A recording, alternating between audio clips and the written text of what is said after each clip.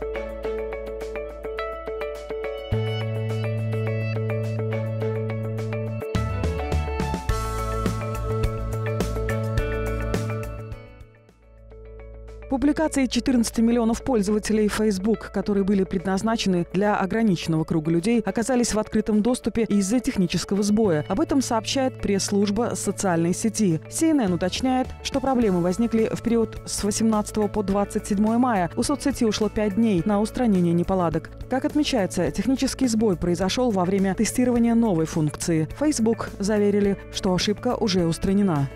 Acțiunile companiei Facebook continuă să-și mențină tendința crescătoare, datorită factorilor fundamentali și tehnici. Săptămâna trecută a ajuns la prețul maxim, 195, care a urmat după o mică corecție până la prețul 188 dolari pentru o acțiune, așa cum a și fost preconizat.